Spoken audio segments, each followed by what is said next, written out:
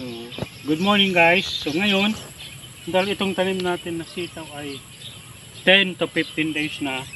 So, kailangan natin maglagay ng synthetic fertilizer, urea, saka uh, triple 14.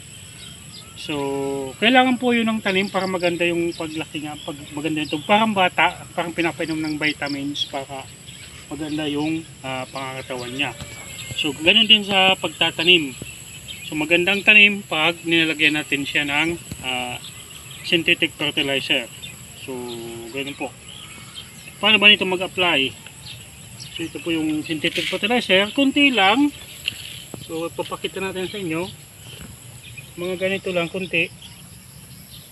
Yan po. So, yan. Kasi tumutubo na yung sitaw. Tapos, yung lupa, gaganyanin po natin.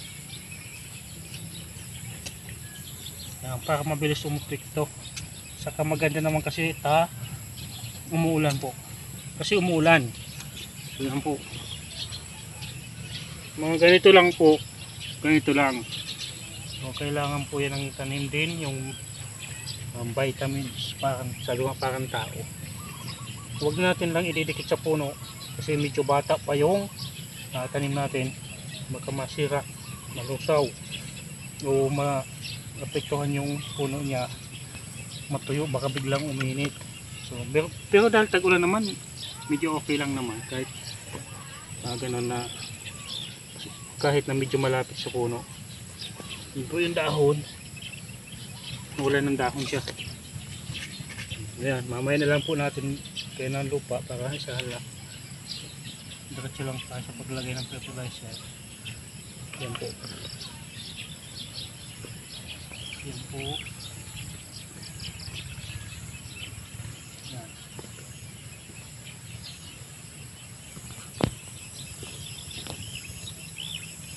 So yan po. Um, yard long bean. Tatanim ko lang to ng uh, I think September 19. So, ganun po ang pagtatanim. Ah, maganda yung laki ng puno niya. Huwag kalagyan po natin ng uh, fertilizer after 10 to 15 days.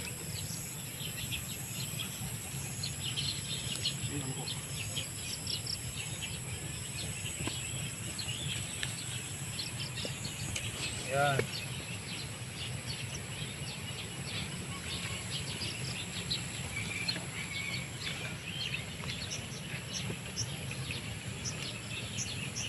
Maganda, maganda naman yung sitaw halos tumubo. Kulang lang talaga sa sustansya yung lupa kasi gamit na gamit din itong lupa. Natamnan ko lang ito ng okra last taniman. Ngayon pinalitan ko ng sitaw. So pag mga ganun na po, ito, katangkad, maglalagay po tayo ng trellis dito para may pakiyatan sila. Yan po para may trailer sila doon natin sila papakyatin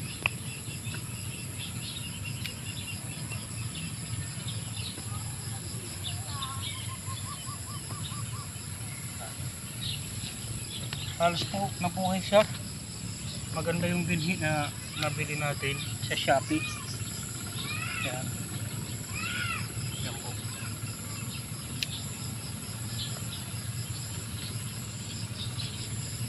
Yan. Tapos ito yung kalabasa naman, lalagyan natin, saka yung busitaw. Lalagyan natin ng synthetic fertilizer.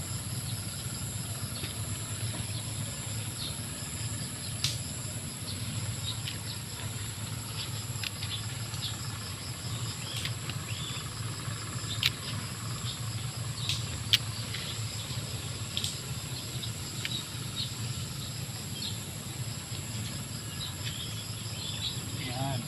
Gandaan po ng panahon. Kahit laging umuulan, pag umaga mainit, pag hapon ah, umuulan po. At least po yung tanim nakakakuha ng sustansya sa araw at parang dinidilig na din po o dinidilig din ng ulan. Kaya okay lang. Ang kapangit lang po yung laging umuulan, masisira agad ang halaman. Yun maganda yung panahon sa pagtatanim. Kaya ang ulan talaga mainit din. So, laking tulong sa halaman, hindi ka nagdidilig, pag nagdidilig ka na rin. So, mga after one week, maganda na po ito. Yan. Maganda po yung tanim din, ang talaga sa katawa. So, yan po. So, huwag niyo pong kalimutan mag ah, subscribe and share sa aking YouTube channel. Salamat po sa mga nag-subscribe kasi more than 1,000 subscriber na tayo. Huwag niyo rin pong kalimutan i-follow ang aking page, Ronelli, Ronelli Sheila Barrientos. Discarding Team, Magugutom TV. So, salamat po. Mag-like po kayo doon at mag-share ang aking mga videos. So, para, para mag para pag naka-earn, magtatanim po tayo ng madami at papagandahin natin lalo yung ating farm. At sana din makatulong din po ang aking mga ginagawang video sa mga nagtatanim. Maraming salamat po.